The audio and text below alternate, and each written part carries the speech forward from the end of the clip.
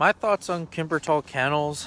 Kimbertal is one of the worst bloodlines or kennels out there. Um, they don't even do health testing. But way back in the day, what I heard is that Kimbertal um, used to be one of the best um, Doberman and Rottweiler breeders out there, but now they look, their dogs look like shit and what I heard is that they used to breed wolves or or wolf hybrids at the time. That's kind of interesting, but at the same time though um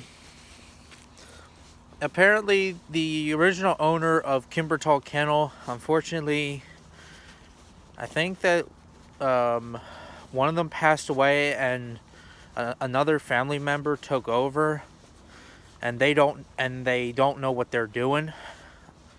So that's why that their Rottweilers and their Dobermans look like shit. For God's sakes, their dogs, uh, well, their Dobermans have Altobello, and their Rottweilers ha- are one of those Serbian dogs that have that pushed-in face.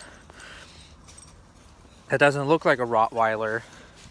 Yeah, that's why I would never get, go to Kimbertal Kennels and buy a Doberman or a Rottweiler myself. I'm happy what I got. This dog is not from Kimbertal Kennel.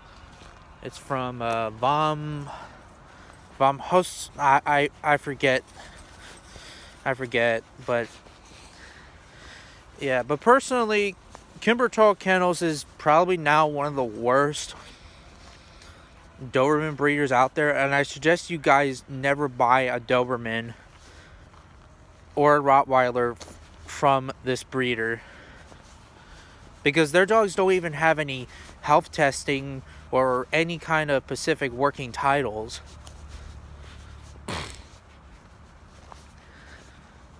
So, yeah, I would never buy a dog from the, from Kimbertal.